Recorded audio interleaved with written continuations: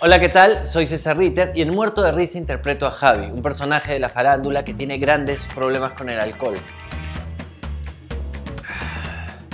Como parte de la campaña Profondos de Muerto de Risa, quiero invitarlos a una función especial de Como en el Cine, la primera película del director Gonzalo Ladines.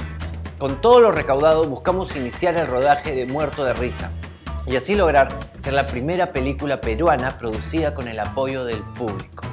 Ya saben, función especial de Como en el Cine y no se pueden perder tampoco el After, donde habrá premios y sorpresas para todos los que asistan. Este evento lo puedes encontrar en Joinas, el link te lo dejo acá en el post. Los esperamos.